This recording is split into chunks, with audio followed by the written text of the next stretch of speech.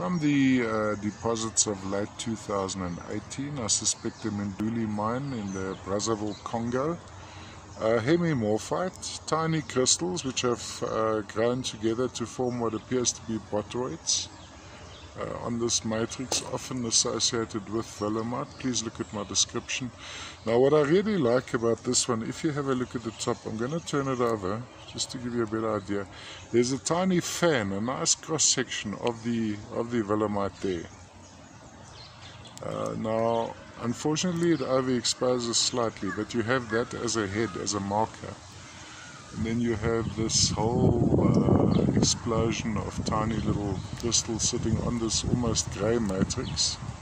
Not much happening on the back.